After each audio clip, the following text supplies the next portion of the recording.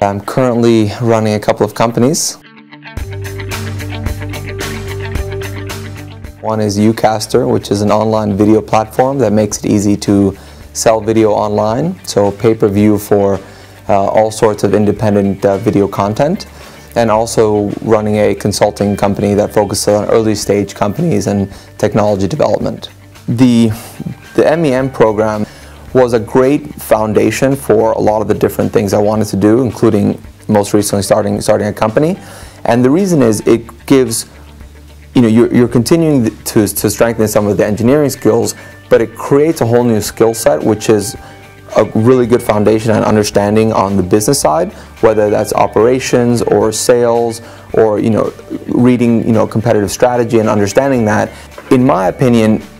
and, and this is what I, what I was thinking about when I was deciding to, to do the MEM, is it's a great way to very quickly and consistently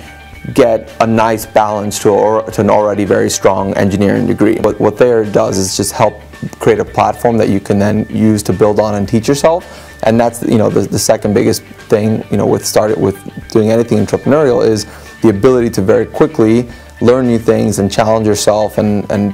have the core platform to then use as you're you know forging new territories. You know I think the courses that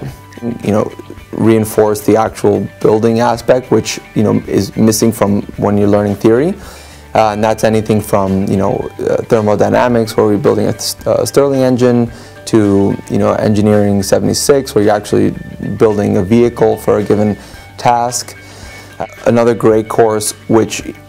helps again with a multidisciplinary approach, is uh, product design, and it took you know there's a growing curriculum of design-based learning, which isn't really making something look nice. It's really thinking about the underlying aspect of how to build something that's useful, uh, that has you know a target customer, something that you know needs various different skill sets to actually get get the project up and running. I found that in you know I've had you know three careers now uh, in the automotive industry and consulting and then now as an entrepreneur and in each one of them the MEM was a great foundation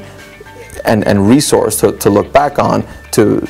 both on the job and to, to continue to, to accelerate through each one uh, and, and that was that was a great great experience.